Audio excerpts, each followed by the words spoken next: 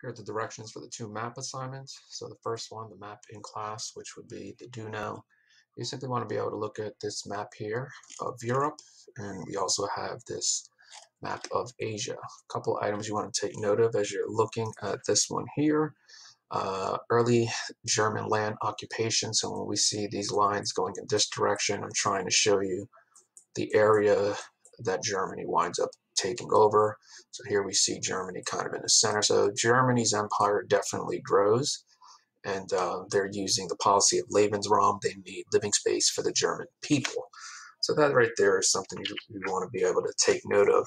We're also looking at the date that France falls. Now keep in mind, France, there is something called Vichy France, and that is the section of France that was collaborating with Nazi Germany. So when you see this particular phrase, I want you to think of uh, you know a government that's working collaboration with the Nazis. So if you looked up a map of uh, in Google, you know France World War II map, you might see it divided in two, and you would see two sections there. Okay, let's see what else. Normandy invasion. You want to take note of Normandy. Treat this like a definition and the Normandy invasion is taking place right here. So you have to be able to identify certain areas. So these numbers, one, two, three, and four is what they're showing you. So here we see three, two is a reference to this section here, and then one is just trying to show you the area that's controlled. The Soviet Union, not a concern. Number four, why? Uh, this is looking at uh, you know the German, German and Russian government um, they did come to an agreement with regard to Poland, so initially they're not concerned. But remember, Hitler goes back on his word and decides that he is going to embark on an invasion of uh, of Russia. So this is looking at the uh, at uh, Japan, primarily the United States war with Japan here. So one, two, three through six is showing you one island at a time. This is what separates the war in Asia from the war in Europe.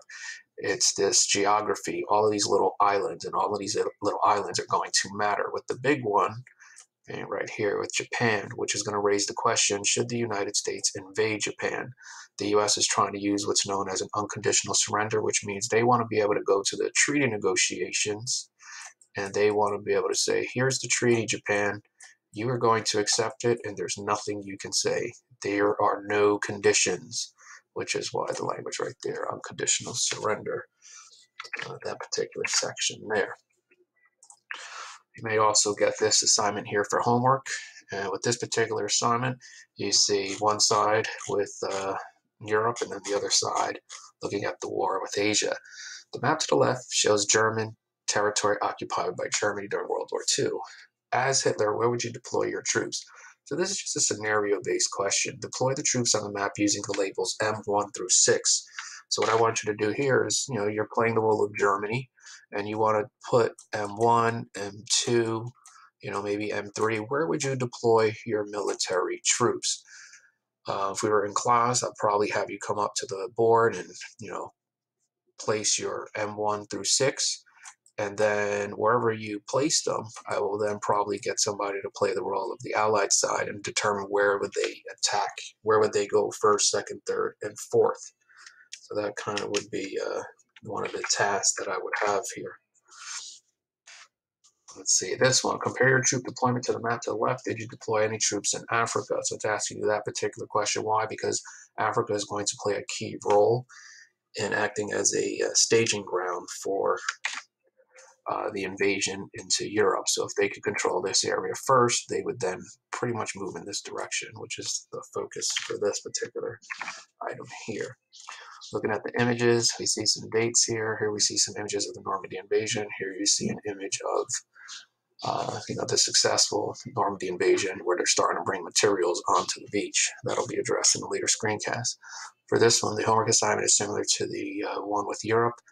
Uh, this one, you're looking at Japan, and you are going to deploy your troops. Same thing, M1 through M6. Where would you deploy them on the map? So you need to figure out where you're going to devote. Now, keep in mind this is a little different from Europe because you have a lot more water to contend with.